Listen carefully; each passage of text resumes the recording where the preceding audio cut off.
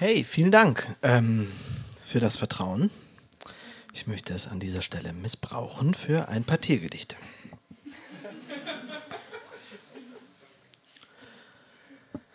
Es war einmal ein Lachs, dem schickte man ein Fax. Doch hat er es nie bekommen, die Schrift war ganz verschwommen.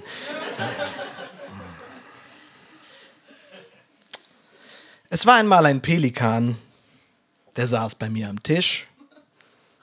Ich sah ihn angeekelt an und sprach, du stinkst nach Fisch.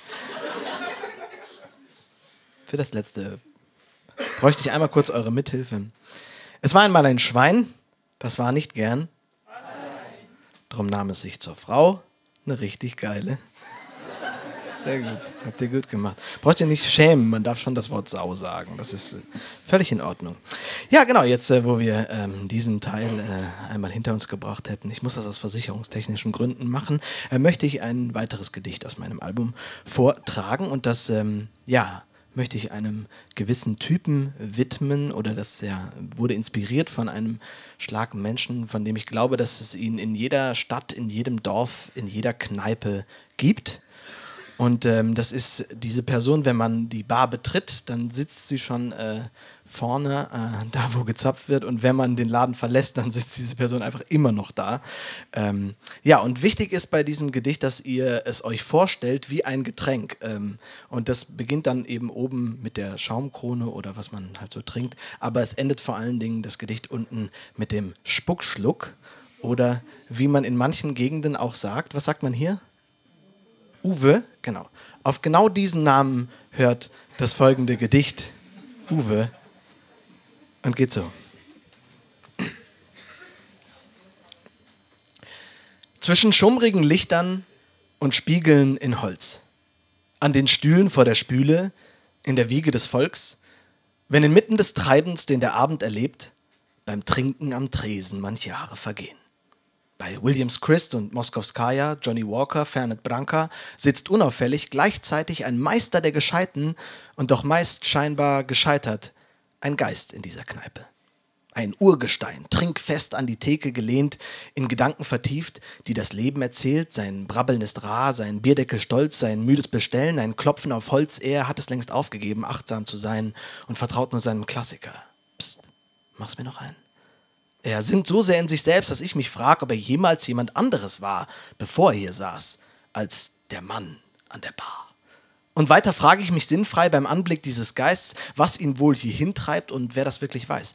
Was vielleicht mit Kindern sei, Familie oder Freundeskreis, große Karriere, Einheitsbrei, Literatur, Nobelpreis. Ich meine, was ist deine Geschichte, lieber Mann an der Bar? Schreibst du auch Gedichte? Kommst du auch nicht klar? Lukas vermutet, du seist ein Geschichtslehrer in Rente. Jasper meint, du seist ein Handelsreisender mit Ente. Malte meint, ehemaliger Fußballstar, der sein ganzes Geld verzockt hat. Ich denke, gescheiterter Autor, unnahbar, weil du es zu schnell verbockt hast. Lebst du von der Stütze der Theke, Gehaltsreste im Sprit ertrunken, Ideale gleichmütig am Grunde des Glases versunken. Ja, ja, Gedanken über Gedanken über Gedanken über dich. Doch eines Tages, irgendwann, da fasse ich all meinen Mut zusammen, trink so viel ich will und kann, bin hackedicht und spreche dich an.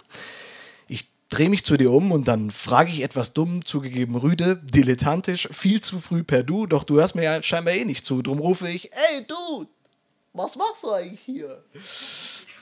Da drehst du dich um und sagst eindringlich zu mir, hä?